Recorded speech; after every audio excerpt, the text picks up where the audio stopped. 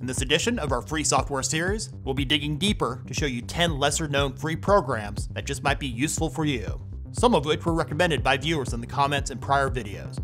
All are available for Windows, with some available for Mac OS and Linux as well. Let's get started.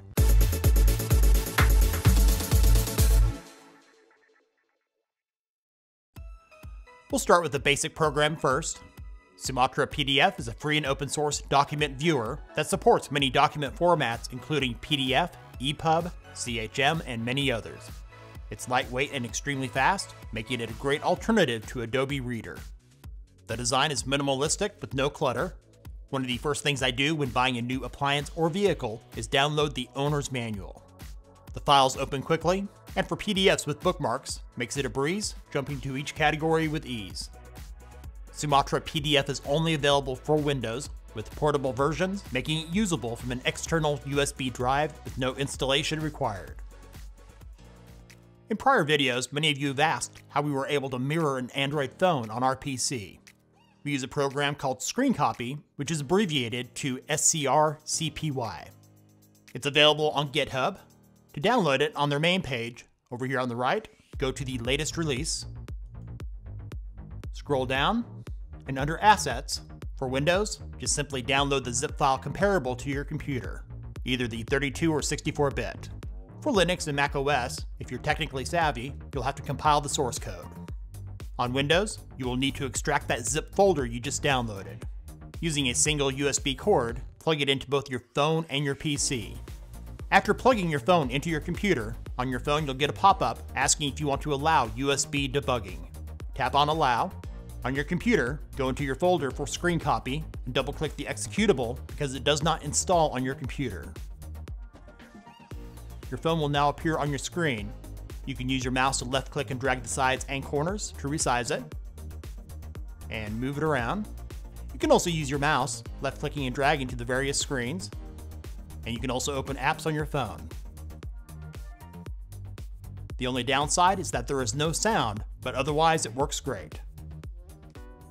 If you want to convert any of your files, you have many choices. The easiest I've used is simply named File Converter.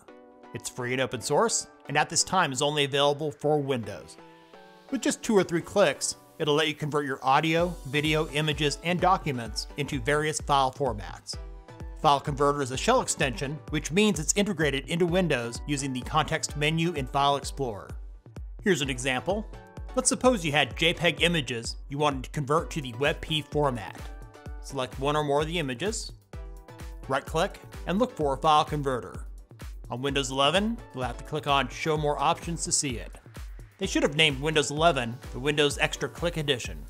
Hover your cursor over File Converter and select to WebP. And that's all there is to it.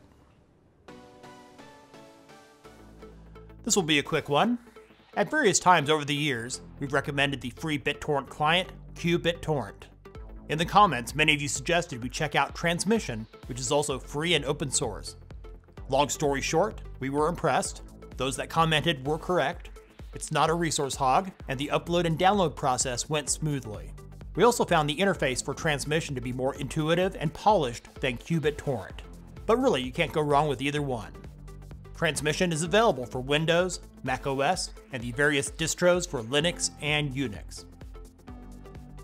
Another program we'll mention briefly is Revo Uninstaller. If you're a Windows user, this one is a must-have. Normally, when you uninstall a program using Windows, it leaves additional files and registry remnants of that program behind. Revo Uninstaller, on the other hand, removes all files associated with the program you've uninstalled, helping to free up more space, clearing out useless junk no longer needed. Tree Size Free is a graphical disk usage analyzer, similar to other programs I've shown you before, like WinDirStat, but with a cleaner user interface, making it easier to find out what is taking up space on your drives. Wherever you launch this, I recommend running this as an administrator to get the most accurate results.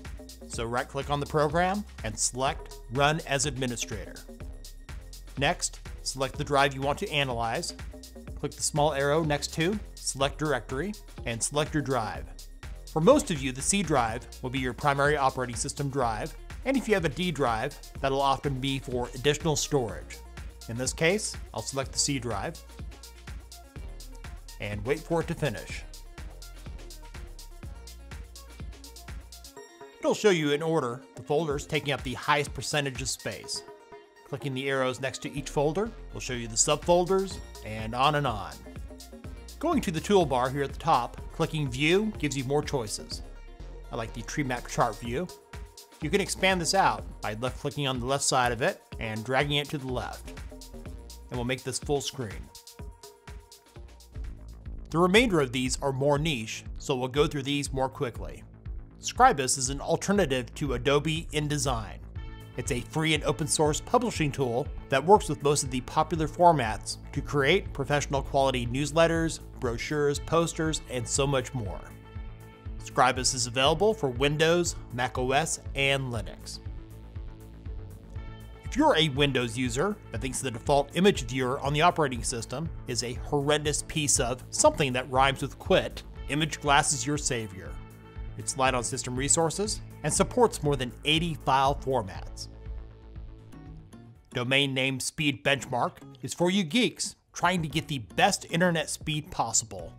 Created by legendary software engineer and security researcher Steve Gibson, who's the host of the long running podcast Security Now, this program will analyze the various DNS servers to find out what works best on your network. For my fellow programmers still using Visual Studio Code for Microsoft for web development, which by the way is no longer open source, it just may be time for you to switch. Brackets is a truly free and open source text editor for Windows, macOS, and Linux that has a cleaner user interface without all the telemetry and hidden source code. I recommend you try it out. Thanks for watching. Links are in the description. If this video is useful for you, give it a thumbs up. What lesser known free software do you use? Let us know about it in the comments. And if you haven't done so already, subscribe and hit the bell to not miss out on our latest free software videos and other tech related stuff here on Tech Gumbo.